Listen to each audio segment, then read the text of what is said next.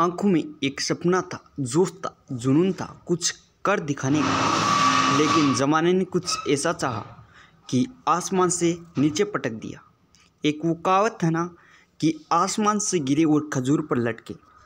लेकिन सरकार कोई ऐसी सीढ़ी तो लाए कि उससे जो खजूर पर लटके हैं, उसको नीचे उतार सके।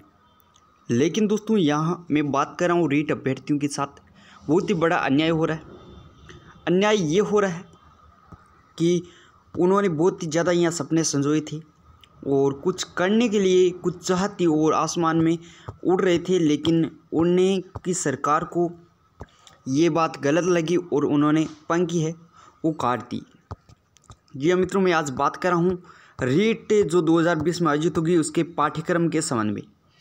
दोस्तों, जो इसका पाठ्यक्रम है, उसको लेकर आज से दो दिन पहले एक न्यूज़ आई कि पाठ्यक्रम के संबंध में अट्ठाईस फरवरी को बैठे होगी। पहले कहा गया विद्यार्थियों को लुभाने के लिए कि आपके जो ये, यानी कि आपका सिलेबस वो पंद्रह दिन के अंदर है, वो तैयार कर दिया जाएगा। लेकिन दोस्तों, ऐसा कुछ भी नहीं हुआ। और इस बच्चे की जैसी स्थिति है, वो बन गई। यहाँ पे साफ़ ज़ाहिर हो रही होगी आपकी, इस बच्चे की तरह आपकी स्थिति है, वो रह गई है। यानी कि जो सरकार है, उसने कहीं का भी नहीं छोड़ा और इस बच्चे की स्थिति की तरह अपने को लटका के वो यहाँ पे छोड़ दिया है। तो इससे हैं, वो विद्यार्थी जो काफ़ी लंबे वक्त से इंतज़ार कर रहे थे, रीट का रीट आ गई, लेकिन अब इसके सिलेबस का इंतज़ार कर रहे थे।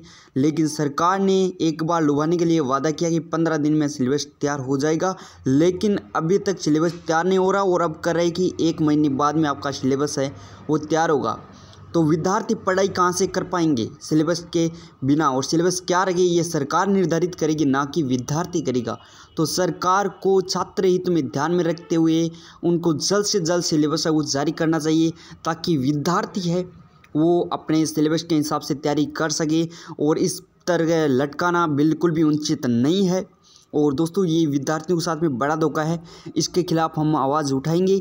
आप यदि साथ में हो तो आप अपने नंबर एक बार कमेंट बॉक्स में ज़रूर लिखें और जल्द से जल्द सिलेबस घोषित कराने में हमारी आप मदद करें दोस्तों।